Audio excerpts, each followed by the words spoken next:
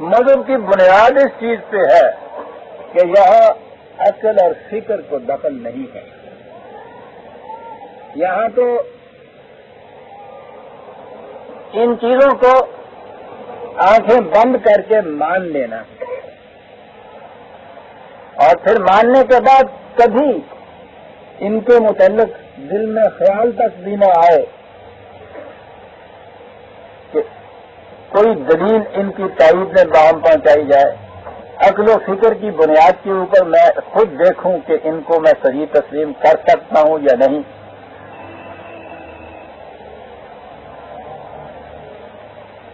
इन्हें तकलीदन माना जाए।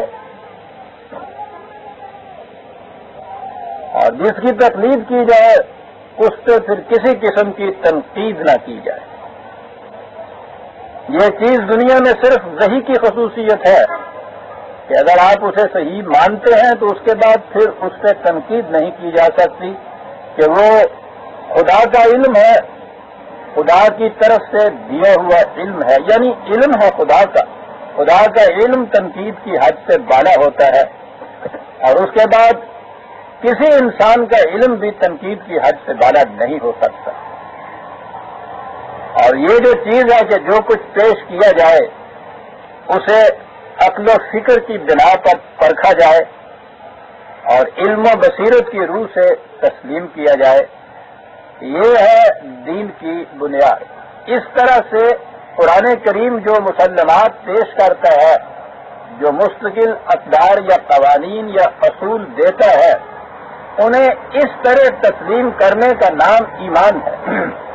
और मैंने कहा था कि ये अंग्रेज़ी ज़ुबान में जो इन चीज़ों के तर्जमे हमारे यहाँ हुए हैं, कि ईमान को फेथ कहा गया है बिलीव कहा गया है, ये ईसाइत के राज करदा असलाहें थी।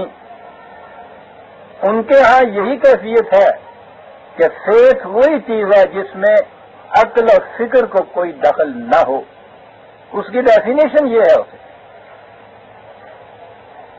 तो ये चीज़ें अंग्रेज़ी ज़ुबान में क्रिश्चियनिटी के मुतलक राइज थी। हमारे यहाँ पहले खुद ही ये अकीदा यहाँ राइज हुआ मुसलमानों के यहाँ कि मज़हब में अकल को दखल नहीं है। और उसके बाद जब अंग्रेज़ी में तर्जमे हुए इस चीज़ के तो ईमान का तर्जमा वहाँ भी, हमारे यहाँ के कुरान के तर्जमा करने वालों में भी, सेठ ही तर्जमा किया इसका। सोचे ही नहीं कि ये देख तो लें कि क्रिश्चियनिटी की रूह से ये जो इतलाहें हैं, इनके मानी और मफाहिम उनके यहाँ हैं क्या? लेकिन ये सोचते क्यों? अगर सोचते तो अपने हाँ ही इन चीज़ों का तर्जमा ऐसे क्यों करते? सोच ही तो एक तो ऐसी चीज़ थी कि जिन्होंने जिसे इन्होंने बिल्कुल खारिज वतन कर रखा था। तो बहरहाल मैं, मैंने ये पिछले दर्श में ये बताया था कि ये है पहली बुनियादी चीज़। और वो जो मैंने लिखा है, अपनी किताब का उन्वान दिया है कि इस्लाम है चैलेंज टू रिलीजन उसमें ये बुनियादी चीज़ है रिलीजन की बुनियाद फेथ पे होती है। इस्लाम इस मुसलमे के खिलाफ चैलेंज बन के आया। और कुरान ने कहा कि इसकी बुनियाद अपने फ़िक्र पर है। वो मोमिन की डेफिनेशन ये देता है कि जब उसके सामने आयात खुदाबंदी भी पेश की जाए तो वो उन्हें भी आँखें बंद करके तस्लीम नहीं करता ये चैलेंज है। ये चीज़ थी जो पिछले दर्श में आई। अब आगे बढ़िए। कि इस तरह से अक्ल फ़िक्र की बुनियादों के ऊपर हमने कुरान के पेश करदा मुसलमात को सही तस्लीम किया। कल्ब दिमाग के पूरे इतमान के साथ हम इस पर ईमान लाए। उस ईमान में बुनियादी चीज़ है खुदा पर ईमान। ये खुदा पर ईमान के माने क्या हैं? एक चीज़ इसमें ऐसी है कि जो इंसान की महदूद अकल के दायरे में नहीं आ सकती, और वो ये कि ज़ात खुदाबंदी कैसी है। उसकी कुन हकीकत क्या है? वो इसलिए नहीं आ सकती कि वो लामहदूद है, वो इनफाइनाइट है। और कोई लामहदूद चाहे महदूद असल के अंदर आ ही नहीं सकती। इसलिए इतना हिस्सा कि खुदा की जात की हकीकत क्या है, ये चीज़ तो नहीं इंसान के अकल की बात है। इसीलिए कुरान करीम ने अल्लाह की कुनो हकीकत के मुतलक गुफ्तगु ही नहीं की। उसने ये बता, ये कहा ही नहीं कि वो क्या है। उसने कहा यह है कि वो कैसा है। और ये कैसा जो है, ये वो चीज़ है कि जो इंसान की अक्ल फ़िक्र में बात आती है। वजूद उन खसूसियात के जैसा मैंने अर्ज़ किया है कि जो इस तरह ज़ात खुदाबंदी से मुतलक है, जैसे कहा गया कि हवल अव्वल। अब ये जो चीज़ है, सबसे पहला जिसे हम कहते हैं, जेन इंसानी कितना ही पीछे चला जाए, टाइम जिसे कहते हैं आप, वक्त जिसे कहते हैं आप, इंसानी जेन कहीं ना कहीं से उसको शुरू करेगा। ये लामहदूद टाइम को जेन में ला ही नहीं सकता। यानी पीछे चला जाए और उसके बाद ये कहे कि आप चले जाइए और ये इसी तरह से, इसी तरह से, इसी तरह से।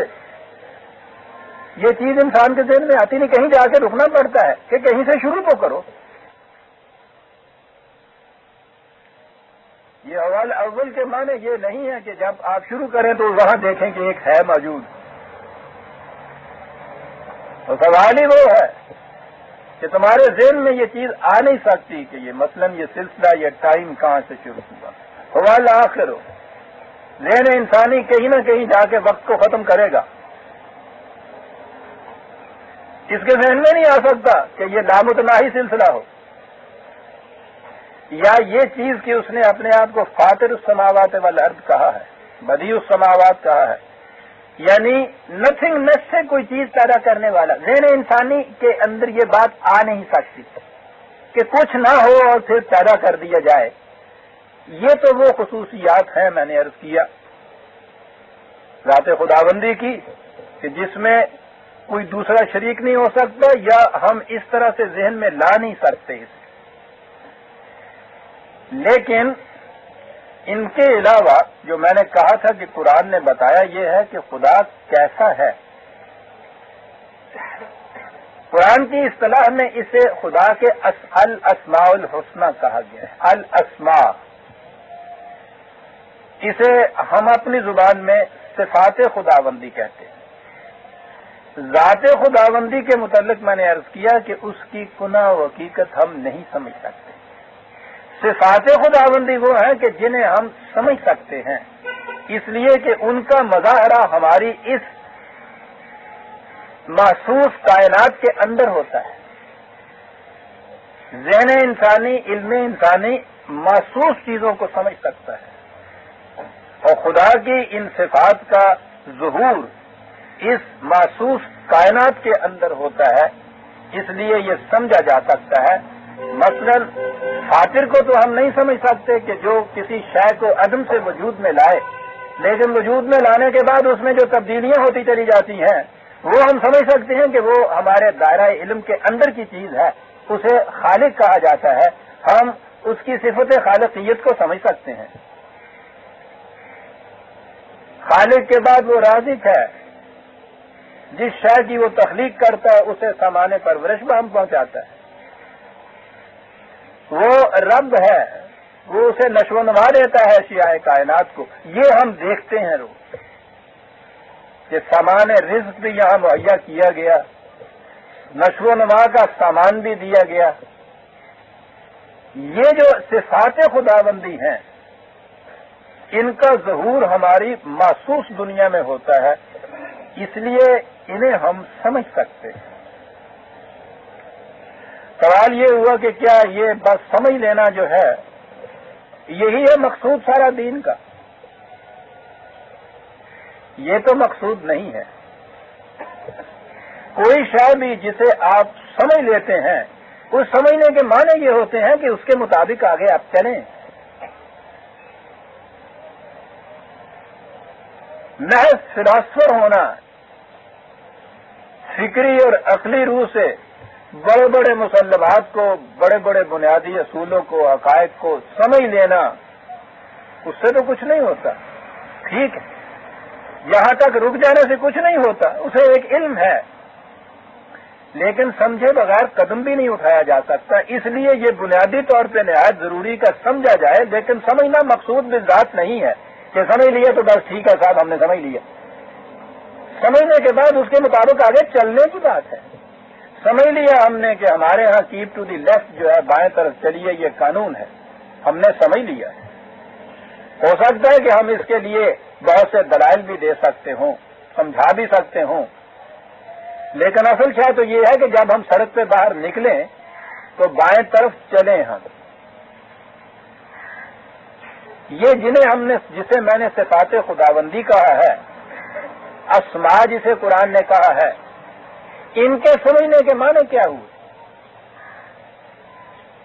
ये सिफात खुदाबंदी वजूद उनके जिनके मुतलक मैंने कहा है कि जो लामुनतहा हैं, उनके अलावा जितनी सिफात खुदाबंदी हैं, वो इंसान के अंदर ये सलाहियत रखी गई है कि वो उस किस्म की सिफात हद बशरीत के अंदर रहते हुए उस किस्म की सिफात अपने अंदर पैदा कर सकता है।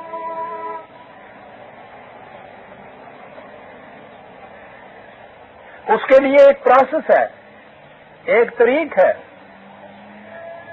उसके मुताबिक इंसानी जात की नशो नुमा होती है। और इंसानी जात की नशो नुमा के मन ये है कि उससे इन सिफात खुदाबंदी का जहूर होता है। बशरियत की हद के अंदर रहते हुए इसे हर दफ़ा जहन में रखिएगा। बाज वक्त अगर मैं ये न भी कह सकूँ मुतन तौर पर तो आप जहन में रखिएगा इसे। इंसानी जात की अगर नशो नुमा होती जाए तो उसमें से ये सिफात खुदाबंदी, ये मुनाकस होती हैं उसमें से। यानी उसके अंदर ये खसूसियत रखी है। जैसे शीशा अगर अगर आप सूरज के सामने रखें तो उसके अंदर से रोशनी मुनाकस होती है, रिफ्लेक्ट होती है, बाहर जाती है। गौहर के मुतल ये कहा गया है, क्योंकि हमने तो देखा नहीं। ये वो वो जो सही गौहर होता है डायमंड होता है, कि उसके अंदर से अब खुद रोशनी निकलती रहती है। अंधेरे में भी वो चमकता है। ये उसकी जाती सिफत हो जाती है। इंसानी जात भी अगर नशो नवाब पा ले तो उसके अंदर से सिफात खुदाबंदी अलाद बशरीत इसी तरह से मुनकस होती चली जाती है। वो इंसान अपनी हद के अंदर राजिक होता है, वो खालिक होता है, वो रबूबियत का हामिल होता है, वो रहीम होता है, वो करीम होता है, वो गफूर होता है। ये चीज़ें उसकी जात के अंदर से इनकी नमूद होती है। कई दफ़ा ये पूछा गया कि साहब इसके मुतलक इसका मैार क्या है? पहचानने का, समझने का कि इंसानी जात की नशो नुमा हो रही है। उसकी पहचान ये है कि उस इंसान से किस हद तक सिफात खुदाबंदी का जहूर होता है। ये है जात की नशो नुमा का मैार परखने का।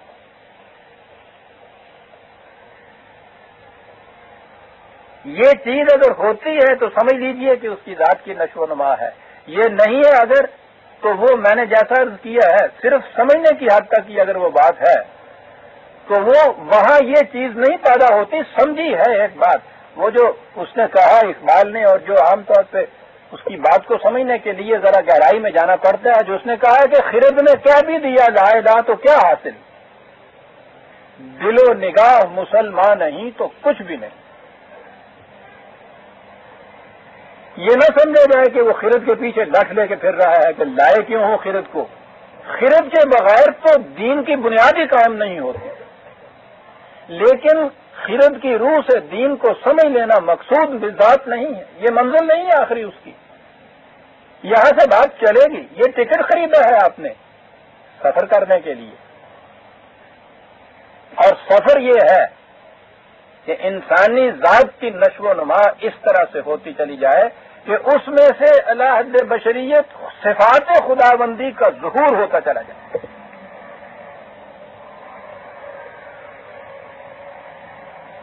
बात जरा गहरी सी है। गौर से इसको समझ लीजिए। यहीं से आपको पता चलेगा इस्लाम कहते किसे? खुदा पर ईमान के माने क्या? वरना दुनिया में ये चंद दहरियों के सवा सारी दुनिया खुदा को मानती है। इसके बावजूद कुरान उनको खुदा का मानने वाला तस्लीम नहीं करता। ये नहीं कि खुदा को अपने तस्वुर के मुताबिक जैसा किसी का जी चाहे वो मान ले।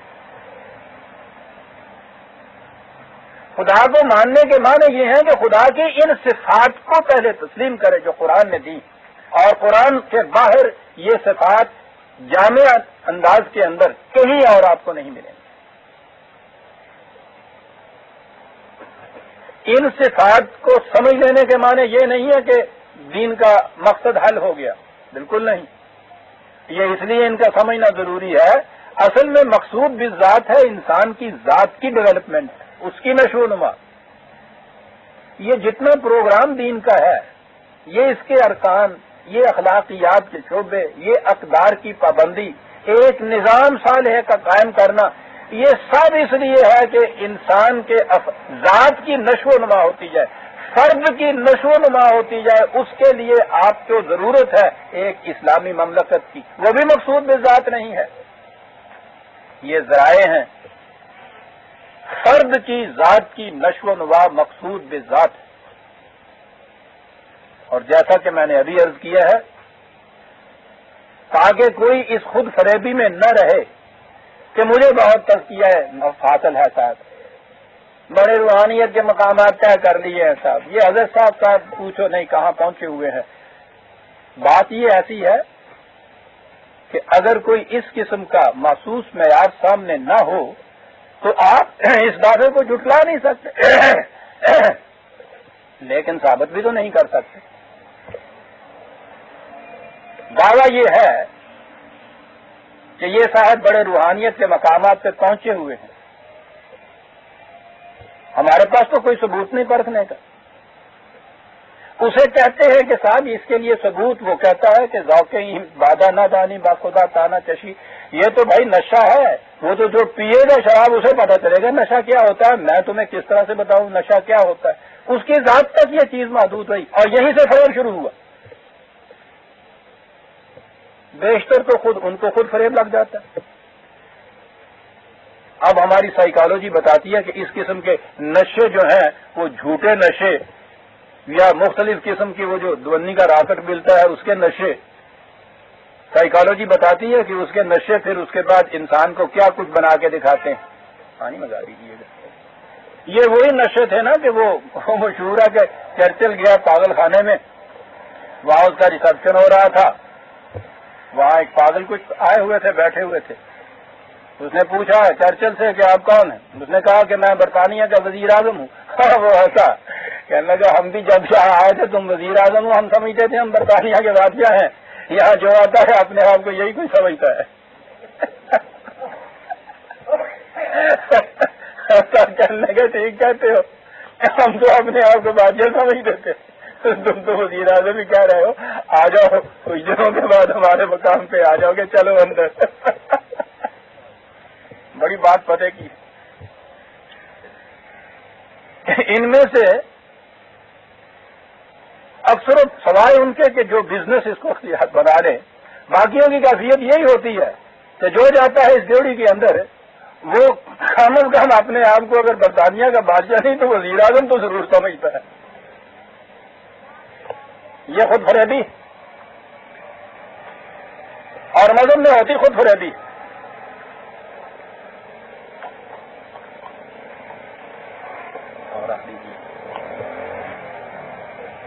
जब कुरान बुनियाद देता है, फ़िक्र की और तदब्बर की और इल्म की, बसीरत की, वो किसी को खुद फरेबी में रहने कहाँ देता है?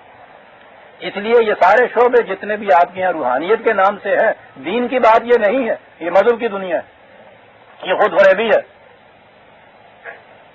दीन तो बिल्कुल खुली खुली बात है। बैना वो कहता है, आयात को भी बैनात कहता है, मोमिन की ज़िंदगी को भी खुली खुली कहता है, परखी जा सकती है। ये वो नशे की बात नहीं है। कि जब तक तुम खुद न पियो तुम्हें पता नहीं चल सकता। वो बताई जा सकती है। बताई जाना क्या, वो तो छुपाई नहीं जा सकती। मोमन की ज़िंदगी की तो कैफियत ये होती है, मैंने कहा है ना, कि वो जिस तरह से उस गोहर से खुद ब खुद उसके अंदर से रोशनी निकलती चली जाती है, दिन को भी और रात को भी।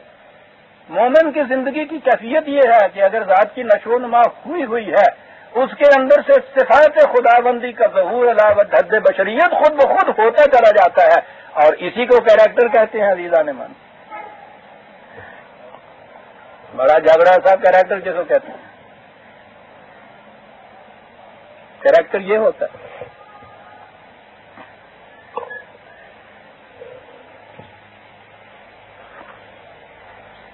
अब अगली बात आई कि ठीक है साहब एक फर्द ने अपनी जात की नशोनुमा की, इन अखबार की पाबंदी से, एक सही कुरानी निज़ाम के अंदर रहने से, फिर मैं अर्ज़ कर दूँ कि कुरान की रूह से जब तक ये निज़ाम नहीं कुरानी कायम होता कहीं फर्द की जात की नशोनुमा इस अंदाज की नहीं होती। मज़हब की दुनिया में बातें हैं वो रियासतों से और वो मुख्तलिफ़ किस्म की वर्जिशों से जो कुछ वो पैदा हो जाता है। रात की नशो नुमा फिर आगे चलिए। ठीक है जी, एक फर्द की रात की नशो नुमा हुई। उसके अंदर से इन चीज़ों की नमूद भी हुई। मुझे क्या? दूसरे इंसान को इससे क्या? वो जो चीख कर कह गया था, वो बड़ी सच्ची बात कह गया था कि इतने मरियम हुआ करे कोई? मेरे दुख की दवा करे कोई।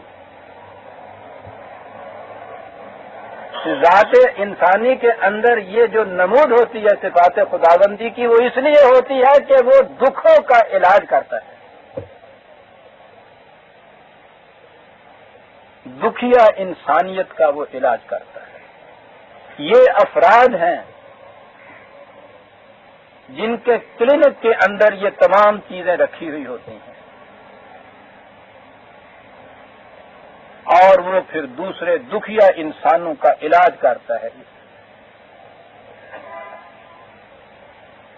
खुदा की सिफात खुदाबंदी भी जो है, सिफात इलाहिया लस्माल हुसना। जहाँ तक इंसानों की दुनिया का ताल्लुक है, उससे मकसूद भी ये है कि वो आलमगीर इंसानियत के दुखों का इलाज करती है। हम आ जाते हैं फिर इंसानों के ऊपर के जहाँ जिनकी जात की नशो नुमा हो और उसमें से जहूर, नमूद इनकास हो, इन सिफात खुदाबंदी का अलाहद बशरियत। मकसद इससे ये होता है कि वो दुखिया इंसानियत का इलाज किस तरह से करता है। उसने ठीक कहा था कि मेरे दुख की दवा करे। मज़हब के अंदर ये इसका ताल्लुक दूसरों से नहीं होता। वो अपनी निजात की फ़िक्र करता है। तो शादी ने जो तशबी दी है, बड़ी अच्छी है समझने के लिए कि ये रूहानियत वाले ये दरिया में जा रहे होते हैं, इसलिए कि हम किसी तरह से पार लग जाएँ। और दीन का मुद्दई दरिया में कूदता है ताकि डूबते को बचा के दूसरे साहिल पे ले जाए। बड़ी चीज़ तैरना, जानना तो दोनों के लिए ज़रूरी हुआ। उसका मकसद अपने आप को बचा के ले जाना है। इसका मकसद अपने आप को तो इसने भी बचाना ही है, बचा के ले जाएगा तो दूसरे को ले जाएगा। लेकिन इसका मकसद डूबते को बचा के ले जाना भी। जिनकी जात की नशोनुमा होती है उनसे जो नमूद होती है, ये सिफात खुदाबंदी की, वो इसलिए होती है कि दुखिया इंसानों का ये दुख दूर कर दे, इंसानियत के दुखों को दूर कर दे, ताकि उनकी जात की नशो नुमा भी होती जाए जिस तरह से कि इसकी हुई। दो बातें हमारे सामने आ गई। अलावजील बसीरत, इन चीज़ों के ऊपर ईमान लाना। फिर कुरान के दिए हुए प्रोग्राम के मुताबिक अपनी जात की नशो नुमा करते चले जाना। नशो नुमा के पहचानने का तरीका ये है कि उसके अंदर से, इंसान के अंदर से, इन सिफात खुदाबंदी की नमूद और जहूर अला हद बशरियत होता है या नहीं। हो रहा है तो ये ठीक है। जितना हो रहा है, उसी हद तक इसकी जात की नशो नुमा होती है। ये हो रहा है, या जात की नशो नुमा हो रही है, काहे के लिए फिर ये मकसूद भी जात नहीं है? ताकि ये दूसरे इंसानों की जात की नशो नुमा कर सके, जिसे मैंने कहा है इंसानियत के दुखों का मदावा, उसके माने ये हैं। यहाँ तक हम आए। सिफात खुदाबंदी को हमने देखा यह है कि उसमें तो मुतजाद सिफात मिलती हैं हमें। मसलन वहाँ अदल मिलता है। और वो इस अंदाज का कि मैं यामल मिसकाला ज़रूरत खैर जरा व मैं यामल मिसकाला जर्रत शर यरा। इंसानी अमाल का एक एक जर्रा नतीजा खेज होता है। इससे ज़्यादा तो अदल की कोई डेफिनेशन नहीं हो सकती। कोई अमली प्रोसेस नहीं हो सकता। उसके साथ ही हम ये कहते हैं कि वो रहीम भी है। ये रहम का जो हमारा तस्वुर है, उसकी रूह से ये दो मुतजाद वजाहत नज़र आती हैं। वो रऊफ भी है, वो कहार भी है। देखते हैं ना कि ये मुतजाद चीज़ें नज़र आती हैं हमें।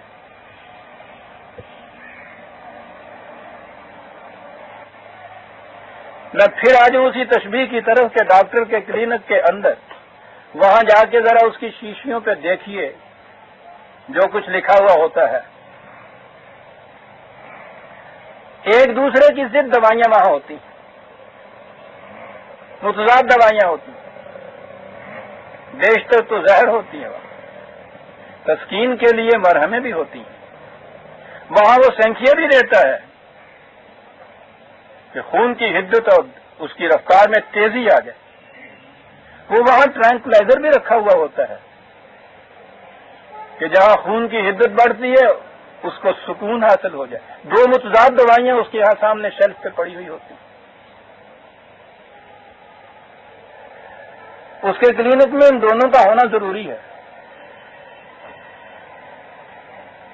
मुख्तलिफ़ बीमारियों के लिए उस बीमारी की नस्बत से उसके मुताबिक दवाई देनी चाहिए। फिर दवाई की मकदार भी। वज़न जो है। और वज़न को तो बड़ी अहमियत है। कुरान कहता है कि खुदा ने सारे कायनात कायनात को मीजान की रूह से तकलीफ़ किया है। प्रोपोर्शन से ही। और कहा यह है कि हम इसलिए ये कह रहे हैं तुम्हें कि तुम भी अपने माशरे में मीजान में कहीं डंडी ना मार जाओ। प्रपोर्शन बिगड़ा, सारा फार्मूला गलत। गलत नहीं। उसके बिल्कुल नतज बरक्स उसके, उल्टे नतज दो चीज़ें हमारे सामने आई। किसी डॉक्टर से ये पूछिए, वो जो होता है ना कि सब तशखीस इसकी सही नहीं हुई। तशखीस ना होने के बाद होता क्या है? बीमारी ये थी कि खून में हिद्दत ज़्यादा थी डॉक्टर ने तशखीस गलत की और समझ लिया कि दौरान खून कम रफ्तार है। उसने वहाँ वो दवाई दी जो टॉनिक, जो तकवीत पैदा करती है। उसने अर्स लिख दिया। उसने मुझे असर किया। बीमारी बढ़ गई। क्या हुआ था ये? ऐसे मौके पे जहाँ उसे ट्रांकलाइजर देना चाहिए था उसने ये हिद्दत पैदा करने वाली चीज़ दी। इसके माने ये नहीं है कि वो वो, वो डिस्ट्रिक्ट मजिस्ट्रेट से हम हुक्मनामा लिखा के ले आए कि डॉक्टरों के क्लिनिक से ये सारी जितनी हिद्दत पैदा करने वाली दवाइयाँ बाहर फेंक दी जाए। क्योंकि उससे तो मरीज़ जो है उसकी मौत वाक़ हो जाती है। ये बात नहीं है।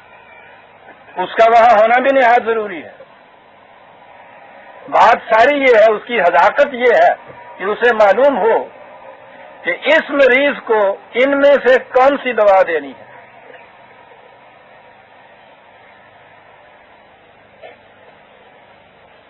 ये जो चीज़ है कि इंसानी माशरे में ये जिनकी, इंसानों की जात की नशो नुमा हो चुकी होगी, उनसे ये सिफात खुदाबंदी का जहूर होगा। ये तो मुतदाद आपस में है। इसमें कहरमानी भी है, इसमें अफब भी है, इसमें अदल भी है। इसमें रहम भी है, इसमें जब्बारियत भी है, इसमें राफत भी है। ये चीज़ मालूम होनी चाहिए कि किस मौके पर किस सिफत खुदाबंदी का मेरे अंदर से जहूर होना चाहिए। यानी मर्ज की तशखीस के साथ मुझे इसके लिए कौन सी दवाई देनी चाहिए? वो जो मुतजाद शीशियाँ रखी हैं। हदाकत नाम ही इसका है। क्वैक के बक्स के अंदर भी ये सारी शीशियाँ होती हैं। क्यों उसके पीछे सारे रख लेके फिरते हैं? सिर्फ़ बात यह होती है कि उसे ये मालूम नहीं होता कि उसकी इस मर्ज के लिए, उसके इस मर्ज के लिए इनमें से कौन सी दवाई मुझे अब देनी चाहिए? दवाइयाँ हर एक ज़रूरी होती हैं वो। ये जो चीज़ है कि किस किस्म के वाक़ पर इंसान के अंदर से, इन सिफात में से किस किस्म की सिफत का जहूर होना चाहिए?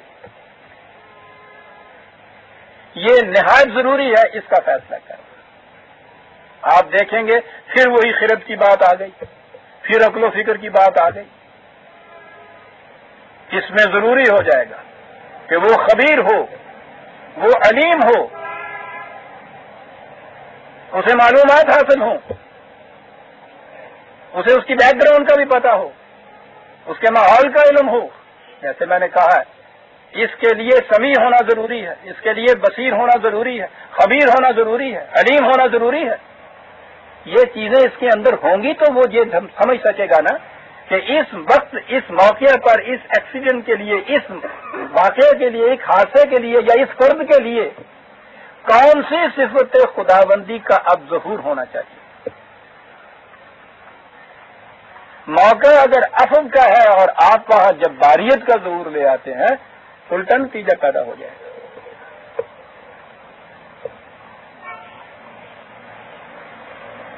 कुरान करीम का मुताला आप इस निगाह से कीजिए अजीब व गरीब चीज़ आपके सामने आएगी।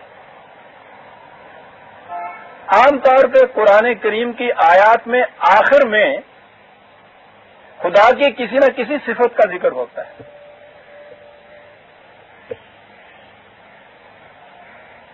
कहीं आसनुल खालिकीन, कहीं वो वल्ला गफूर रहीम, समझे? वल्ला रूफुन गरीम आमतौर पे ये वहाँ होता है। ये शायरी नहीं है जीरा ने मान कि कहीं ज़रूरत शेरी के लिए रहीम लिख दिया। कभी देखा कि इससे जरा सख्ता पड़ता है बैत में? कोई बात नहीं, उसने कहा, रजाक लिख दो। वज़न ठीक हो गया जी? ठीक हो गया। शायरी में तो ये है। शहद और अंग भी बिल्कुल एक चीज़ है। वो शायरी के लिए रखा है। कि अगर वो मिसरे के अंदर वो पूरा ना खपता हो तो वो दूसरा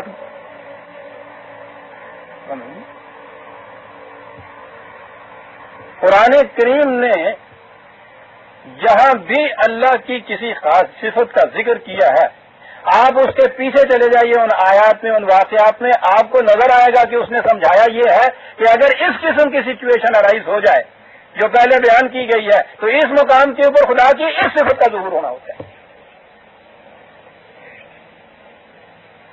और ये इसलिए नहीं कहा गया कि हमें सिर्फ़ मालूम हो कि हाँ हाँ ठीक है जी। अल्लाह मियाँ की सिफत का जहूर होना चाहिए। कहा उसने ये है कि अगर इस किस्म की सिचुएशन तुम्हारे सामने आए और तुम्हारे अंदर ये है सफात खुदाबंदी, ऐसी सिचुएशन में इस किस्म की सिफत का जहूर ला फिर शफा हो जाएगी। आप गौर फरमा रहे हैं कि ये जो यूँ ही नजरी सी बात थी, अल्लाह पर ईमान, वो अल्लाह पर ईमान कहाँ तक लिए चला जा रहा है हमें?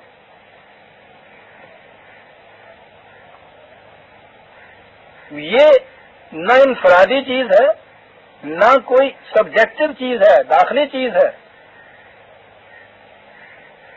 न सिर्फ़ ये है कि समझने, सोचने के बाद मसला खत्म हो गया फिरत ने कह दिया लायला। न ये है कि इसके बाद आगे जब चलेंगे तो फिर इस फिरत की और फ़िक्र की ज़रूरत नहीं पड़ेगी। न ये है कि इससे मकसद एक फर्द की अपनी निजात है। आप गौर फरमा रहे हैं कि ये एक चीज़ बुनियादी, अल्लाह पर ईमान। दीन में उसकी पोजीशन क्या होती है, हैसियत क्या होती है? एक फर्द का दूसरे फर्द के साथ मामला, उसकी बुनियाद अल्लाह के ईमान के ऊपर होगी। अब आपने समझ लिया कि माने क्या होंगे।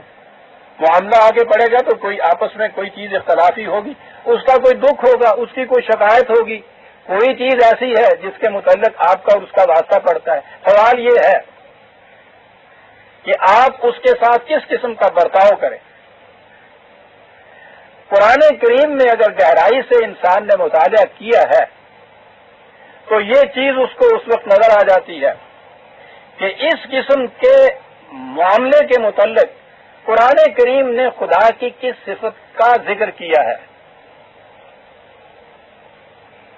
तो समझ में आ जाता है कि मामला उस जैसा या मिलता जुलता है उससे, उस किस्म की सिफत का जहूर होना चाहिए। वरना अगर आपने अदल की जगह अफब का जहूर हो गया, फसाद ही फसाद। और जहाँ अफब की ज़रूरत है, वहाँ आपने जब बारियत का मुजाहरा कर दिया, फसाद ही फसाद। सिफात खुदाबंदी का जहूर हो रहा है। नतीजा उसका फसाद निकल रहा है।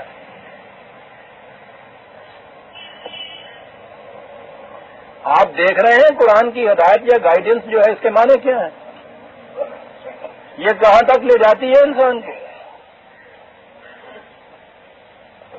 अजीजा ने मन कुरान की रहनुमाई तो जैसा मैंने अर्ज़ किया, ज़िंदगी के एक एक सांस में इसकी ज़रूरत पड़ती है इंसान को। और इस पर इंसान की निगाह इतनी वसी होनी चाहिए और गहरी होनी चाहिए कि उसे ये मालूम हो। पहली चीज़ तो ये है कि उसकी जात के अंदर इतनी नशो हो कि सिफात खुदाबंदी का जहूर हो रहा हो। अगर ये नहीं है तो ये इलम जो है, ये कुछ बात नहीं। फिर ये कि किसी खास मौके के ऊपर किस सिफत खुदाबंदी का जहूर होना चाहिए, ये भी मालूम होना चाहिए। यहाँ तक हम आ गए। अब एक कदम आगे चलिए। वो जो अभी अभी मैंने अर्ज़ किया है कि ये भी मालूम हो डॉक्टर को, सही तशखीस के बाद, कि कौन सी दवाई की ज़रूरत है। और उसके बाद ये भी मालूम होना चाहिए उसको कि कितनी मिकदार में देनी चाहिए।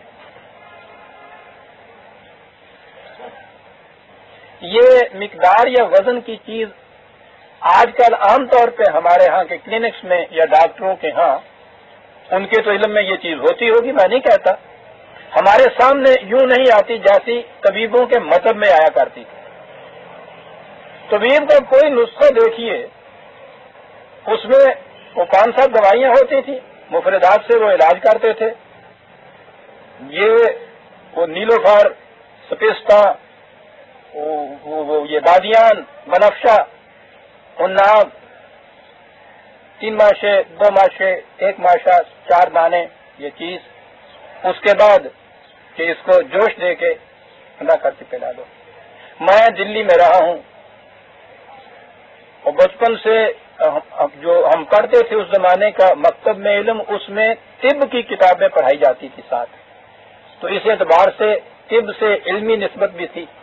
खुद पढ़ाने वाले मेरे दादा जान वो बहुत बड़े तबीब भी थे। अजीब शख्सियत थे, उनका असर मेरी जात में है। बहुत बड़े आलम थे, बहुत बड़े सूफी थे, बहुत बड़े तबीब भी थे। तो इसलिए तिब मैं कह रहा हूँ कि वहाँ से भी आई। ये सारी चीज़ें आई हुई वहीं से। फिर मैं दिल्ली में रहा तो दिल्ली तो मरकज था तिब का। तो मुझे इसमें बड़ी दिलचस्पी थी। बीमार हूँ या ना हूँ, ये जो अच्छे अच्छे तबीब थे, हकीम अजमल खां और हकीम भूरे खां ये हकीम मोहम्मद अहमद खां शरीफ खानी इनको कहते थे। मैं उनके मतों में जा बैठा करता था। देखता ये था कि उन्होंने नुस्खे में यह दिया। मरीज़ आया, उसने कहा कि हकीम साहब, कुछ फ़ायदा हुआ नहीं है। तो उन्होंने एक नज़र उसके ऊपर डाली।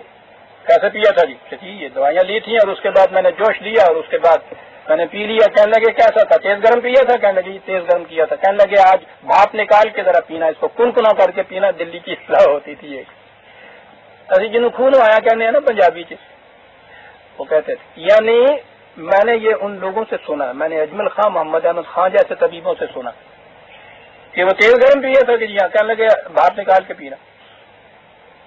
उसने कहा जी फ़ायदा हो गया है। कभी वो ये करते थे, वो नुस्खा लिखने वाला साथ होते थे, उनके यहाँ शागिर्द उनको ये करते थे। उसने आगे कहा कि जी, वो फ़ायदा तो मुझे हुआ है हकीम साहब, लेकिन वो नाक खुश्क हो गई या बिल्कुल कल की। उन्होंने यूँ कहा, उन्होंने कहा नाप कितने हैं? उन्होंने कहा, पाँच दाने। कहा, तीन दाने कर दो। वो दे दी। कहने जी क्या? कहने की जी, ठीक हो गया हकीम साहब यानी दवाइयाँ वही रखते थे, उनके औजान में फ़र्क होता चला जाता था। अक्सर बेशतर मैंने उनके यहाँ देखा। बहुत कम ऐसा होता था। कभी ऐसा होता था कि एक कोई उसमें से काट दी, जरा सी उसमें बढ़ा दी। लेकिन अक्सर बेशतर उनके औजान में वो दो माशे है, तीन माश कर दो। वो तीन की जगह दो कर दो। वो यूँ इसमें करते रहते थे। ये जो तरकीब है ना कि हर शय अपने वज़न के मुताबिक प्रोपोर्शन से ही रखे हुए हो। अरबी ज़ुबान में इसे हुसन कहते हैं। सही प्रपोर्शन ये जो कुरान करीम ने कहा है आई अब 180 बात हमारे सामने जहाँ से दर शुरू होता है। वलिल्लाहिल असमाउल हुसना। असमा तो उसके सारे ये हैं। लेकिन इसकी खसूसियत ये है कि वो जाते खुदाबंदी में सही सही प्रपोर्शन लिए हुए होते हैं। उनका वज़न बड़ा सही होता है। अब इंसानी जात के अंदर भी ये है। तशखीस भी इसने सही की, दवाइयाँ भी उसकी सही तजवीज की। ये भी मालूम हुआ कि इस वक्त किस सिफत खुदाबंदी का जहूर होना चाहिए मेरे अंदर से। अब अगली बात यह है कि कितना होना चाहिए। अगर इसमें भी तवाजुन का फ़र्क आ गया, फिर बिगाड़ पैदा हो जाएगा, या कम अज कम शफा नहीं होगी।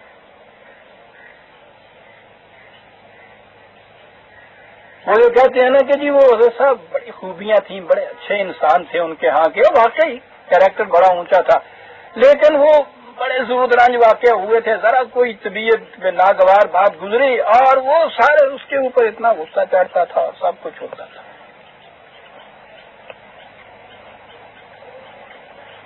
पूछा गया इनके यहाँ, हजर साहबान के यहाँ से ये क्या चीज़? कहने लगे कि साहब, ये गुस्से को मार देना जो है ना बस ये है असल रूहानी। आप गुस्से को मार दीजिए, गैरत और हमीयत खत्म हो जाती है सर। बेहया हो जाता है इंसान।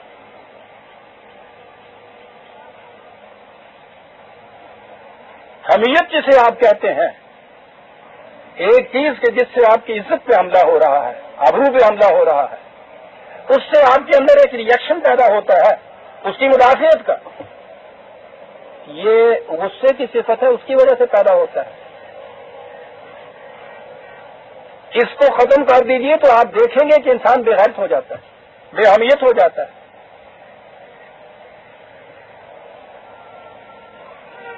लेकिन अगर सूरत ये हो कि बच्चे ने जरा सी गलती की, गुस्सा आपके ऊपर तो हुआ, पारा चढ़ा 106 तक, और एक आपने उसको दिया ये थप्पड़। पूछो नहीं तीन दफ़ा उसको हश पड़ता है। गुस्से की सिफत का जहूर हुआ है ना? तंबी की ज़रूरत थी उस बच्चे को। उसकी गलती के ऊपर आपका ये रिएक्शन कि इसकी सलाह इस तरीक से मुझे करनी है? ठीक था ये। किया क्या आपने? वो नाप तीन दानों की जगह तेरह दाने आपने लिख दी। या डॉक्टर साहब ने वो जो वो वो, वो आर्सनिक था उसके तीन कतरे देने थे तीस दे दिए। आर्सनिक ज़रूरी था इसके लिए, लेकिन तीन कतरे ज़रूरी थे तीस कतरे नहीं।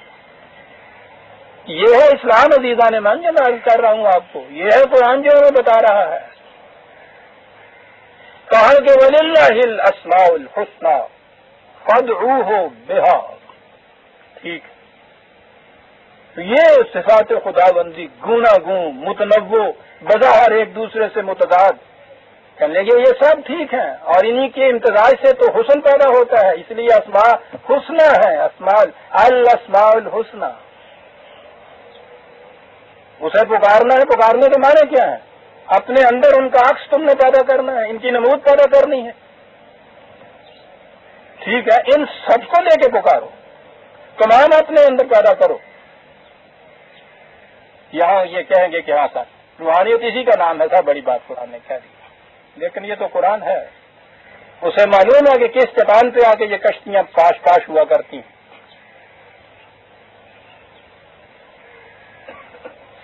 खुदाबंदी किसी के अंदर हों।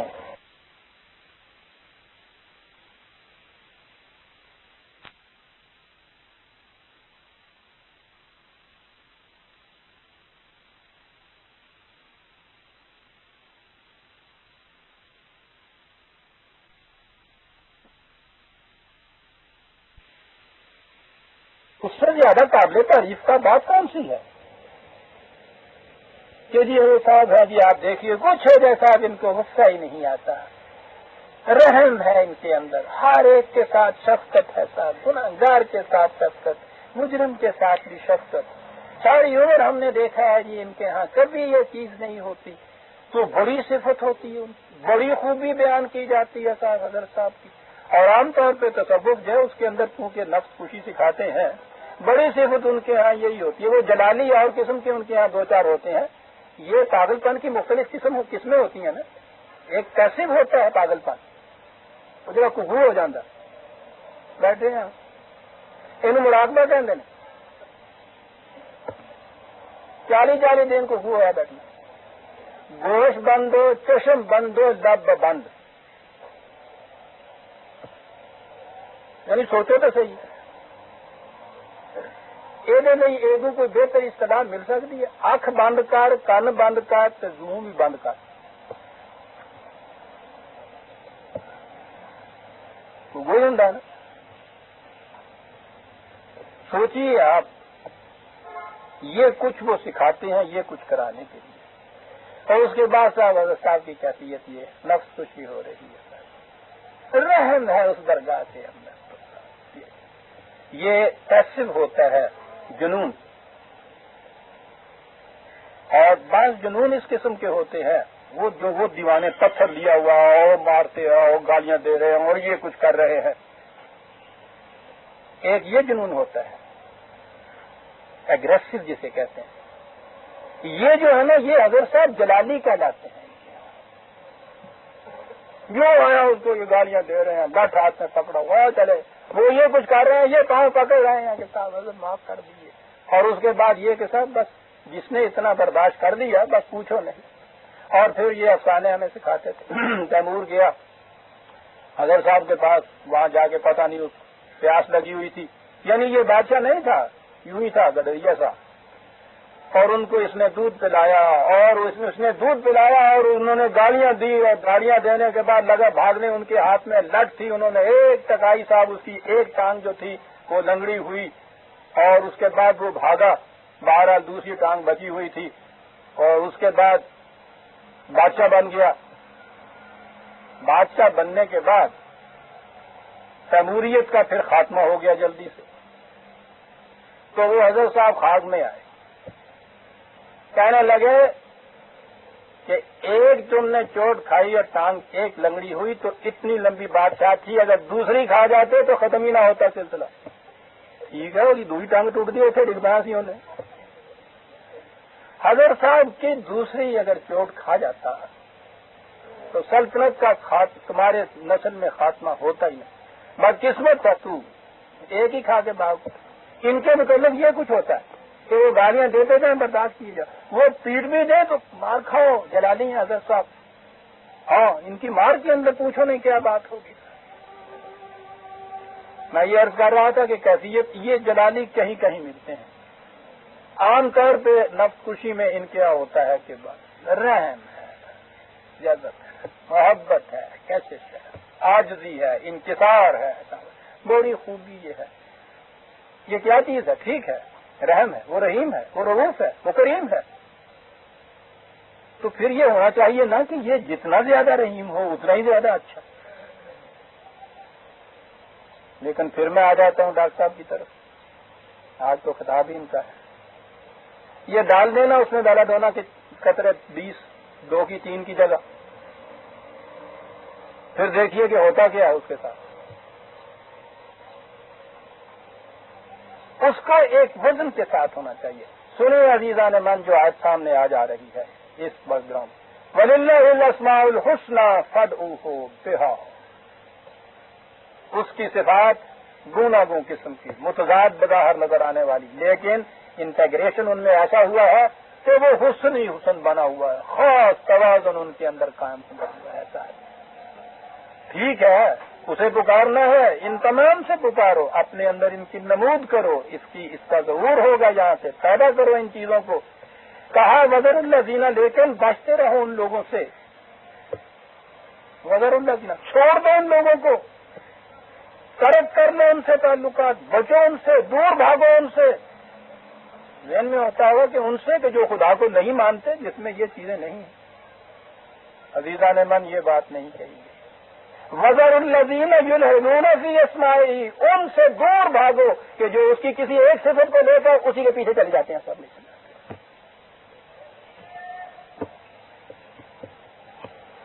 हमारे यहाँ तर्जमा इलाज कर दिए मिला दिए डांडे बेदीनी। इलाज बेदीनी साहब, ये नहीं होनी चाहिए। वो होता क्या है ये? अरबी ज़ुबान के अंदर ये आज हमारे यहाँ जो मुर्दा दफन करते हैं, वो तो दरमियान में ही वो वो वो निकाल लेते हैं, गड़ा और उसी में दफन कर देते हैं। ये ये जो गोकन है ना, ये उनकी तकनीक है। ये आसान बनाना होता है। इससे पहले आपको मालूम है लाहट बनती थी। वो लाहट जो है, वो यही लफ्ज है। इसके माने क्या होते हैं? कि वो जो सही तार के ऊपर एक तरफ़ जाता है रास्ता, उसमें से यूँ निकल जाना। वो एक तरफ़ बनी हुई होती थी ना इल्हाद के माने है किसी एक चीज़ से। एक चीज़ को लेके और उसी की तरफ़ फिर वो बढ़ते चले जाना। कहा कि असमाल हसना सब उसके हैं। इनकी नमूद होनी चाहिए। लेकिन वो लोग जो उसके असमा में से किसी एक इसम को या असमा को लेकर उसमें एक तरफ़ को निकल जाते हैं, बाकियों को छोड़ देते हैं, उनके मुतल कहा वजरुल्ला दीना हाँ। छोड़ दो उनको। बड़े खतरनाक हैं। इन्हें कहा छोड़ दो उनके मुतल क्या हुआ? कि कोई बात नहीं वो तो जन्नत में चले जाएँगे।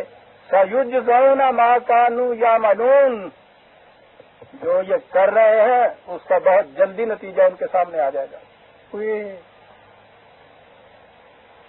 यानी ये गैस ही बहुत ज़्यादा रब वाले बनवास से आप कैफियत होने लेगी कुरान अजीजा ने मन दीन है। मज़हब की दुनिया में किसी से पूछ लीजिए, पहले दिन के मज़हब से आखिरी मज़हब तक। उनके यहाँ जितने ज़्यादा कोई शख्स तवर्रो तकशुफ में, परहेजगारी के अंदर, रूहानियत के अंदर जितना बढ़ता चला जाएगा, उतना ही मुकर्रब बनता चला जाएगा। ये कह रहे हैं? अल्लाह ताला का इर्जाद ये है कि ये ठीक है, लेकिन जो लोग जिनकी कैफियत ये है कि एक ही सिफत खुदाबंदी को लेकर उसके अंदर अफराद में चले जा रहे हैं, छोड़ो उनको, और उनको इसका नतीजा मिल जाएगा।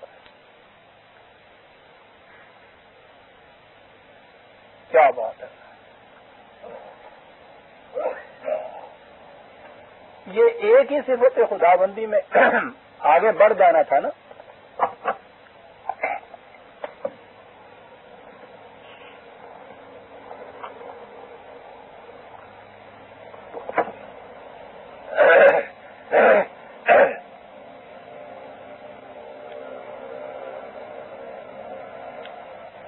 यहूदियों की शरीयत में खुदा के दिए हुए दीन में नहीं, जो बाद में उनके मज़हब ने शरीयत बनाई।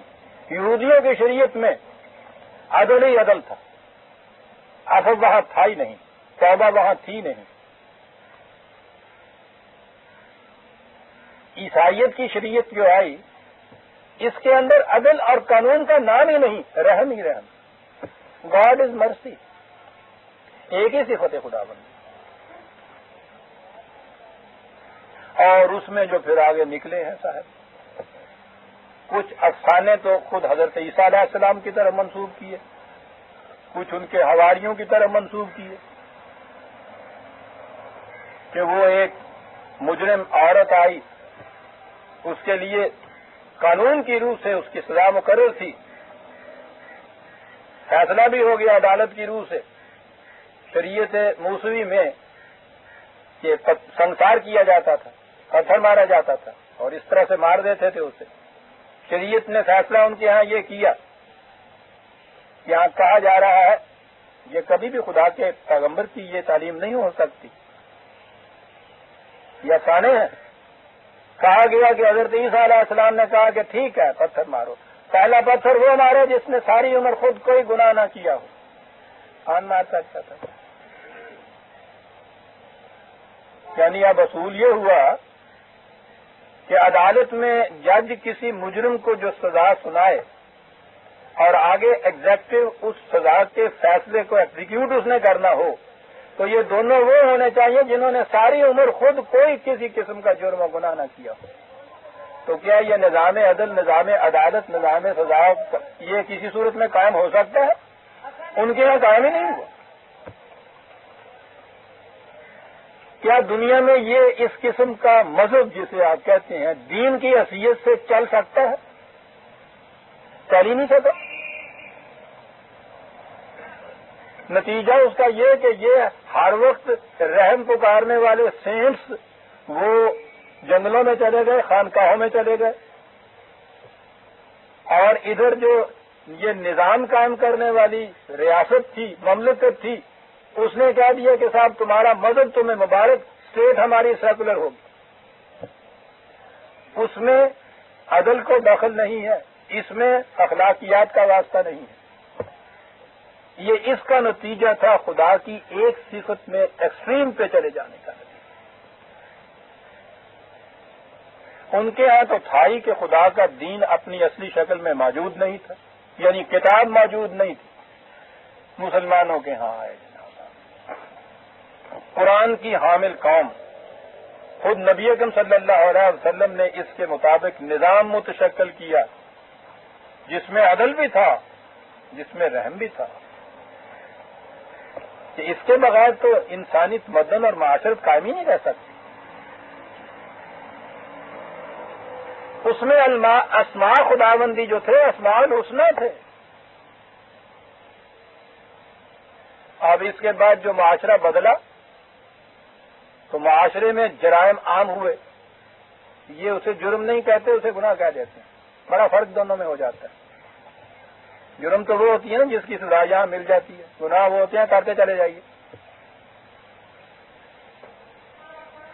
ये जब आम हुआ तो इसके लिए अपने आप को इन्होंने फरेब देने के लिए क्या किया? वो जो इंजील की तालीम थी, रहम की अपने यहाँ उसको बुनियाद बना लिया इस्लाम का। खुदा के हाथ से गुनागारों को मुआफी मिलना। और फिर पूछो ना, जब ये शायरी आती है, यानी पहले ही वो एक सिफत में एतदाल को छोड़ के अफराद की तरफ़ निकले, और वो अफराद जो थी, वो चढ़ गई हत्या शायरी के, जिसमें होता ही मुबालगा, दो बादशाह करेला नीम चढ़ा पहले है पूतनी थी, फिर बढ़िया जरा आ गई। यानी पूछो ना थे तो की हो गया? इधर आ गई शायरी जना बस फिर, मेरे गुनाह ज़्यादा है, या तेरी रहमत? खुदाया तू ही बता दे हिसाब करके मुझे। बस जो कह मेरी थोड़ी रहमत है गई रब बंदा पे जो कह, बहुत ज़्यादा आ गई है तू कह सुहार ठीक है फिर। तो फिर मेरे गुनाह का सजा का दे। तुम्हारी राह में तो ज़्यादा है। यानी मैं इस खुशकी पे यहाँ खड़ा हूँ दो कदम पे। तेरी जड़ी छाल ਆਉਂਦੀ तो है ਉਹਦੀਆਂ कदम से ਜਾਂਦੀ ਹੈਗੀ है। ਤੇ मेरी ज़मीन के आधे भेज जाएगी ना। गंदगी तोल जाएगी। मैंने कहा है ना कि बचपन की तालीम जो तसवुफ की होती थी, बड़ी दिलचस्प तस्वीरों से और इशारों से सारा काम निकाल लेते थे। सारी शायरी है वो। हकायत नहीं है लतायत है, याद रखी कहा कि साहब, ये बात समझ में नहीं आई कि एक शख्स जो है इतनी गुनाह करता है, उसके बाद आप कहते हैं कि वो ज़्यादा खुदा के यहाँ मुकर्रब हो जाता है। कहने लगे कि देखिए ना भाई, एक शख्स के दो दो आदमी थे जिन्होंने उसका कुछ कर्जा देना था। एक ने बीस रुपए कर्जा देना था, एक ने सौ रुपया कर्जा देना था। उस शख्स ने कर्ज खा ने दोनों के कर्जे माफ़ कर दिए कर दिए। कहो कि ज़्यादा जेरदार एहसान कौन इनमें से हुआ? वो जिसके बीस रुपए कर थे या सौ रुपए वाला था? सौ रुपए वाला कहने लगे यही तो बात है। जितना ज़्यादा गुनाहगार होगा, उतना ही उसके नज़दीक ज़्यादा मुकदम बन जाएगा। गल तो ठीक गई यानी एक मिसाल थी सौ रुपए वाला। इसके बढ़िया गल ला ले जिते सुनो कोई नज़र आना एदू भी अगर लंघ है। ਕੀ ਪਰਵਾਹ ਹੈ ਰਾਕਿਬ ਉਥੇ ਬੇਪਰਵਾਹੀਆਂ ਫੜ ਲੈ ਅਮਲਾ ਵਾਲਿਆਂ ਨੂੰ ਛੱਡ ਦੇ ਔਕਨਹਾਰ ਨੂੰ ਚੱਲ यहां तक तो खैर शायरी थी राकिब ने कहा या बुल्ले शाह ने किया लेकिन अजीजा ने मन कयामत वहां आती है जहां इस किस्म की खिलाफ इस्लाम तालीम और शायरी को मंसूब कर दिया जाता है उस जात अक्सर आसम की तरफ से जो कायनात में दीन को आखिरी शक्ल में मुतशक्ल करने के लिए तशरीफ़ लाए थे। हदीस बनी आपके यहाँ एक, और मुस्लिम के अंदर वो रख दी गई। एक से आया सित्ता है इनके। हदीस की किताबें तो बहुत सी है ना। फिर उसमें हर किस्म का रतबो याबस भरा हुआ इन लोगों ने उसके बाद पहले ये सारा कुछ भरा उसमें, फिर उसको छाड़ने के लिए बैठ गए। वो छाड़ने जो लगाए इन्होंने तो वो छानते छानते उसमें से छह किताबें इन्होंने निकाली। कि ये सही किताबें हैं। सिहाया सित्ता छह किताबें सही हदीस की। उसमें से देखा, फिर भी रोड उड़च रहे फिर उन्होंने छान आपने पहले रोड में लाए, आप ही छानन बैठे हुए हैं। उसमें से फिर दो किताबें निकाली। सही है उनको कहते दो सही किताब। बुखारी और मुस्लिम। तो इतने पाए की ये किताब हुई मुस्लिम। उसके अंदर ये हदीस हदीस ये है, रसूल सल्लम ने फरमाया, जो खुदा ये कहता है, कि इनसे कह दो, नहीं, रसूल सल्लम ने फरमाया उम्मत से, कि तुम गुनाह करो, बहुत ज़्यादा गुनाह करो। क्योंकि खुदा ये कहता है कि अगर तुमने गुनाह न किए तो हमारी सिफत गफूर रहीमी लखी की रखी रह जाएगी। यानी सौदा बेचन दिया है। वो किस काम आएगी? हदीस में है कि अगर तुमने गुनाह न किए तो खुदा तुम्हें मिटा देगा और उसकी जगह ऐसी कौम लाएगा जो गुनाह करे और खुदा की सिफत गफूर रहीमी ज़रूर में आए। इसलिए अगर बचना चाहते हो, मिटना नहीं चाहते तो उसका तरीका यह है कि गुनाह किया करो। ये मुस्लिम की हदीस आज भी बड़े फखर से पेश किया सोचिए अजीजा ने मन कि कहा ले आए हैं ये लोग इसमें गुनाह करो, ना करोगे तो खुदा कहता है, हम तुम्हें मिटा देंगे। और तुम्हारी जगह ऐसी काम को लाएँगे कि जो गुनाह करे और फिर हमारी सिफत गफूर रहीमी जो है, वो फिर जहूर में आए।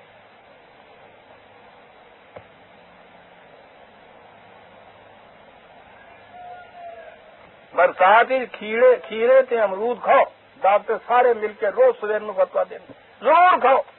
तुसी ना खाओगे तो साडा काम क्यों चलेगा? सोचिए। ये खुदा की तरफ़ मंसूब, खुदा के रसूल की तरफ़ मंसूब।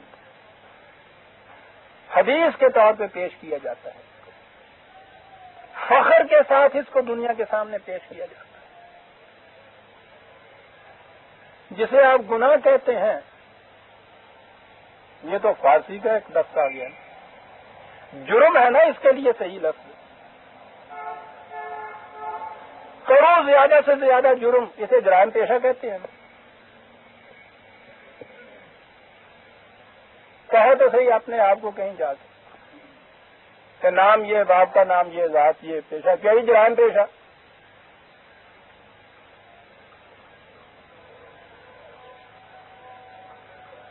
न जराम पेशा कहने से आप भी हंस रहे हैं, वो भी हिचकिचाते हैं। आज आशी पूर्व आसी कल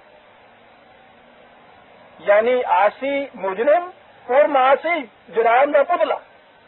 दबा के जुर्म करने वाला। उनसे कहिए कि, मुफ्ती साहब, आप जो नीचे ये अरबी में लिखते हैं, इसे जरा हमारी ज़ुबान में लिखिए, नीचे लिखिए। मुफ्ती फलान साहब, मुजरिम अव्वल दर्जे का बदमाश, कहिए। आसी पूर्णमास और आगे गए। मुजनिब फखर है। लिखते हैं फखर के साथ। मुजनिब पेशा जिसका तर्जुमा होता है। लेकिन पेशा कहने से तो मैंने कहा गुना गया था यानी आप देखते हैं, ये जो कहते हैं, बाज़ार मज़ा आता है, इंतज़ार से कहते हैं, इंतज़ार से नहीं कह रहे होते। वो तो मुकर्रब बन रहे होते हैं। कि जितना ज़्यादा गुना करेंगे, उतनी उसकी रामत की बारिशें होंगी हमारे ऊपर साहब। है, बंदा तो साहब गुनहगार है। यहाँ पहुँचा दिया है इस कौम को अजीजा ने मन। जुर्म ना करोगे तो खुदा मिटा देगा तुम्हें। तुम्हारी जगह दूसरी फॉर्म ले आएगा। और खुदा का कानून मकाफात ये कहता है कि जरायम करोगे तो खुदा मिटा देगा तुम्हारी जगह उस फॉर्म को लाएगा, फिर जो मुजरम नहीं होगी। कहते हैं फकुते दाबिर कौम लदीन गलत हम उस कौम की जड़ें काट देते हैं जो जुर्म पेशा होती है। उसकी जड़ें ये काटता वो कहते हैं कि नहीं, सर ਜੇ ਤੁਸੀਂ ਸ਼ਰੀਫ ਇਨਸਾਨ ਬਣ ਗਏ ਫਿਰ ਤੁਹਾਡਾ ਰਹਿਣਾ ਮੁਸ਼ਕਲ ਹੋ ਜਾਏ ਨਜ਼ਰ ਆਉਂਦਾ ਜਿਸ ਤਰ੍ਹਾਂ ਅੱਜ ਦੀਆਂ ਗੱਲਾਂ ਕਰਨ ਡਿਆ ਕੁਰਾਨ यानी इनका दिया हुआ कुरान अजीजा ने मन कहां से कहां पहुंच गया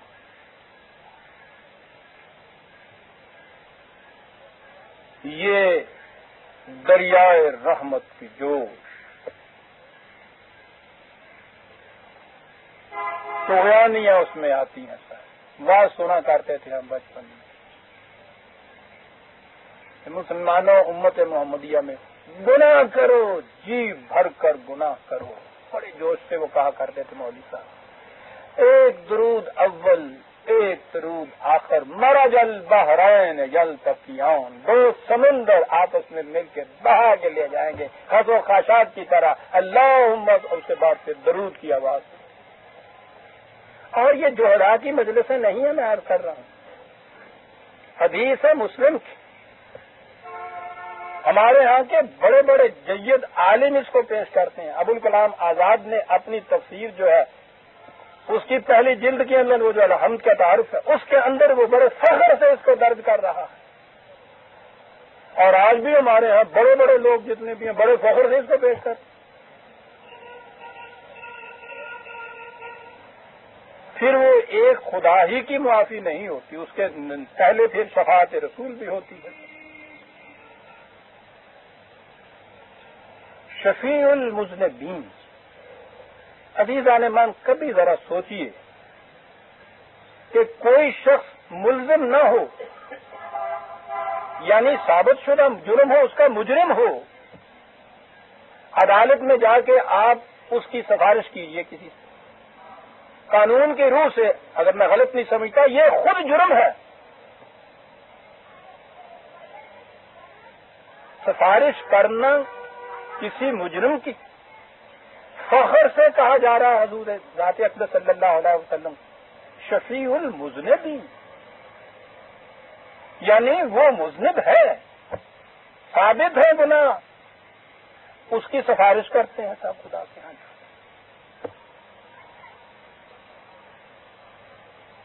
और खुदा ये चीज़ कहता है कि याद रखो नाजहीन खाए नहीं खयानत करने वालों का कुछ तना मत बनो तुम सब। खुदा तो ये कहता है, उनकी वकालत भी तुम नहीं कर सकते।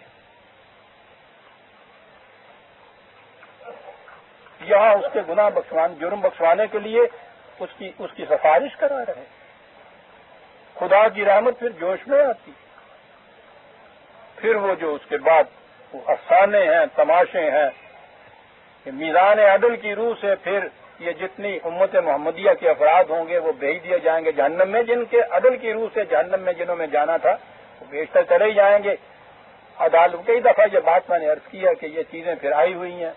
फिर वो अदालत बर्खास्त हो जाएगी, सब लपेटे जाएँगे, दफ्तर इधर विधर भी चले जाएँगे और फिर अल्लाह ताला भी जाने लगेंगे। तो वो देखेंगे कि मैदान अशर में एक शख्स है, वो सजदे में गिरा हुआ है। उन्होंने कहा कि ये तो खत्म हो गया था, कोर्ट का वक्त भी खत्म हो गया। अब ये कौन शख्स है? वो आए, आके उन्होंने देखा कि कौन है? देखा तो नबी अकम वसल्लम सजदे में गिरे हुए हैं। उनसे उठाया, क्या बात है? उनसे क्यों कहने लगे कि, साहब, मेरी उम्मत के इतने अफराद जहन्नम के अंदर तो मैं जन्नत में कैसे जा सकता हूँ, सर? तो अब यहाँ आके ये मुश्किल पड़ गई।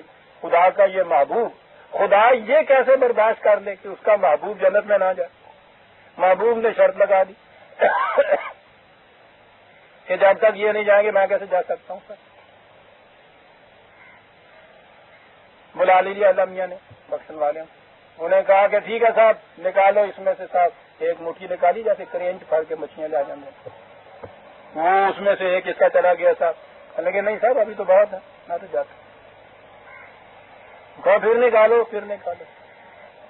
क्या तमाशे हैं साहब। और जो इस तरह से निकाल दिए तो उसके बाद फिर हजूर जन्नत में गए, अल्लाह मियाँ कार गए। नहीं, गल पंजाबी च नहीं घर जान वाले बड़े एवं कही तो घर जान वाले बड़े माज अल्लाह माज अल्लाह दीदा ने मान यहाँ पहुँचा दिया आपकी कौम को। आप फंस रहे हैं, आपको मालूम नहीं है कि नफ्सियाती तौर पर गैर शूरी तौर पर इन इतकादात का असर क्या पड़ता है कौमों के ऊपर? कौम बेबाक हो जाती है जराइम में। गैर शूरी तौर पर यह कैफियत उसके यहाँ पैदा हो जाती है। बेबाक हो जाती है।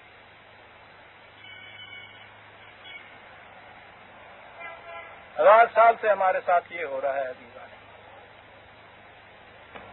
क्या हुआ ये? वो जो एक सिफत खुदाबंदी थी जिसे रहम कहा गया, उसमें इलाहाद किया ना?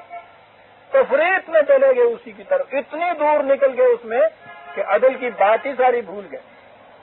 और जब सवाल ही मर्सी का हो गॉड इज़ मर्सी वो ईसाइयों के यहाँ तो बात जचती थी, उन्होंने इसकी बुनियाद और बांधी थी। बुनियाद ये बांधी थी कि हर पैदा होने वाला बच्चा अपने अव्वली माँ बाप का जो गुना है, अव्वल था ओरिजिनल सिन वो उसकी आलाइश अपने साथ लेके पैदा होता है। हर बच्चा गुनागार पैदा होता है। और ये आलाइश किसी फर्द के अमाल से धुल नहीं सकती। अब आ गई मुसीबत, कि जितने इंसान पैदा किए चला जा रहा है धपियाँ सारे के सारे जहन में। तो अब इस उलझन से निकले किस तरह से? ये कहने ना हथा दित्तियाँ या दंदा नाल खोलनियाँ पैंदियाँ ने। पहला तो अव्वल माँ बाप का गुना फिर उसके बाद हर पैदा होने वाला बच्चा, खुदा की तरफ़ से उस गुना की अदाश लेके पैदा हो। जब वो गुनागार पैदा हुआ तो अब ये गुनागार तो जन्म में जाएगा, अब क्या किया जाए? महाजल्ला महाजल्ला ईसाइत के ही बैकग्राउंड में मैं गुफ्तु करूँगा। खुदा न रहा अपने यहाँ के खुदा की मुतलक नहीं, जो वो तस्वर पेश करते हैं। तो इस तरह नज़र आता है जिस तरह वो लम्हे बड़ा हम सोचे आया, बैठा है सी उनके ये बेटे जाके क्या कहता जी, की गल हैगी? उन्होंने कहा की गल हैगी? है, कुछ कर बैठा है, बड़ी मुसीबत है। बच्चे पैदा भी करने हैं कि मैं खालक वाक्य होया है जरा पैदा होंगे उन्हें बाद पैदा होंगे जन्म भी पाया की करिए? दोनों ने सिर जोड़िया क्या कहते हैं अजीजा ने? मैं बेटे ने कहा कि अब्बाजान, ठीक है, मुझे मालूम है आप बड़ी मुश्किल में हैं। मेरे बेटे होने की हैसियत से मेरा फरीजा है कि आपकी परेशानी को दूर करूँ। कहने लगे, कैसे बेटता दूर कर कहने लगे, मुझे दुनिया में भेजिए। वो मुझे पकड़ के शरीर पे दे देंगे। मेरे गुनाहों का, मेरे इस खून का, खून बहा जो है, वो इस शक्ल में आप लीजिए कि हर गुनागार जो मेरी सलीब के ऊपर ईमान रखे, उसको आप बख्श दीजिए। खून बहा लेके तो बख्शा जा सकता है ना मुजरम? इंसानियत की तरफ़ से ये खून बहा हो जाएगा उनके जराइम का। चुनाचे उनके यहाँ ये अकीदा आ गया। ये सेंट पाल का है ना, ये ईसाइत अकीदा ये आ गया कि हर वो शख्स जो हज़रत मसीह के सलीब देने के ऊपर ईमान रखेगा, वो जन्नत में चला जाएगा। वैसे तो जा ही कोई नहीं सकता, अमल के बदौलत। उनके यहाँ का बुनियादी अकीदा है कि कोई शख्स अमाल की बिना पे जन्नत में नहीं जा सकता। ये सिर्फ़ इस बिना पे जा सकता है। और ये जो सारा प्रोसेस हुआ कि इस तरह से खुदा ने अपने बेटे को भेजा, वो सलीब पे गया, उसका खून बहा, यूँ दिया, इस तरह से खुदा ने बख्शा। ये तो सारा रहम का ताल्लुक है ना कि अल्लाह को रहम आया इंसानों पे। इसलिए उनकी बुनियाद ये पड़ी कि गॉड इज़ मर्सी खुदा रहम है। अदल वाला खुदा उनके, उस फ्रेम के अंदर आता नहीं है। फिट नहीं बैठता। वहाँ तो ये था आपके यहाँ कुरान है, जिसकी बुनियादी कानून मकाफात अमल के ऊपर। लेकिन आप भी हैं कि उसी तरह से आप इस सिफत रहीमियत को लाए, इसमें से चले एक लाहट की तरफ़, निकले अफराद में आप, और उसके बाद फिर कहीं रूहानियत के मुकर्रब आपको बख्शवा रहे हैं। और इनके बख्शवाने का तो याद तो आपको होगा, लेकिन कई अब आप नए होते हैं। बड़ी दिलचस्प चीज़ें होती हैं ना? कि वो जन्नत में, जी हाँ वो जन्नत के बाहर तो उन्होंने गेटकीपर भी रखा हुआ है, रिजवान जी ने कहते हैं। वो आ रही थी वो टिकट चेक करके अंदर भेजता है जन्नत में। तो चेक करके भेजा उन्होंने। उसके बाद इंस्पेक्टर आया वहाँ अंदर चेक करने के लिए। उसने देखा जैसे सिनेमा के अंदर बहुत सारे लोग विदाउट टिकट अंदर आए हुए आगे। वो उसकी पेशी हो गई। उन्होंने कहा कि ये क्या हुआ? कि तुमने अपनी ड्यूटी दी किस तरह से? अजीजा ने मन, ये तस्वुफ की किताबों के अंदर हमें पढ़ाया जाता है। तो बहुत बस सोचते हुए अल्लाह मियाँ, जो तुम्हें खड़ा किया था इस काम के लिए, वो इतना तबका अंदर बगैर अब बात उसके समझ में भी ना आया उसका जी मैं तो एक एक टिकट चेक करके मैं अंदर लेके गया कहने लगी वो अंदर ये मौजूद है, पूछो इनके पास चलिए इनके पास वो है ना समझ में बात ना आए। अगर साहब बैठे हुए कमली ओढ़े हुए मुस्करा रहे हैं, ये सब कुछ देखते हुए।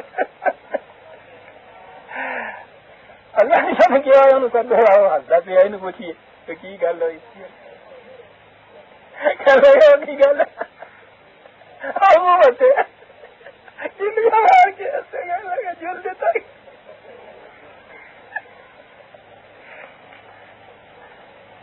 कहने लगा, जी, इनसे पूछिए, मैं तो अपना टिकट देके क्यों कहने लगे, जी, ठीक कहने लगे, जी, मैं अपने साथ तो कोई लेके नहीं ये कंबल मेरे ऊपर था, इस कंबल के अंदर मैं कितने छुपा सकता था, सब क्या हुआ? अब हुआ ये कि हजर साहब ने अपने इतने मुरीद थे गुनागार मुजरिम, उनकी रूहों को अपनी कमली के तारों के साथ लपेट रखा हुआ था। युवा तो अक्सर पहिया हुई होंगी ना ना, कमलियाँ उनकी रूहों को कमली के तारों के साथ लपेटा हुआ, कमली ऊपर दी है बिल्कुल जनाब कुने बड़े हो तो रेजान अपना टिकट देता। जिस तरह साढ़े जिया जनानियाँ ने कहिए पहले हो रहे बच्चे की टिकट नहीं लग रही तो बच्चा हो जाना छह वारिया का तो कहने उन्हें कुछ चौकियाँ नहीं वो अजी तो गोदी च आ गोदी चिपया वो के तारों से रूहे लपेट के चले गए अंदर अब देख लिया पीछे कि अब कोई नहीं देखता कमली चाड़ी और फुर फुर कर दे, सारे ओदे अंदर जनाब मौजा हो गई हैं। हजर साहब बख्शवा रहे हैं, कहीं शफीउल मुजनबीन बख्शवा रहे हैं, कहीं खुदा का बड़े करम जोश में आ रहा है। सारी कौम फख्र कर रही है मुजरिम होने की ऊपर। क्या चीज़ से थी? वजर वजरुल्लजीन जुलहदून फ़ी अस्माए पता तल्लुक कर दो उनसे कि जो खुदा की किसी एक सिफत को लेके उसमें एक तरफ़ पड़ जाते उन्हें मालूम हो जाएगा कि इसका नतीजा क्या होगा साहब ये तरीका नहीं है।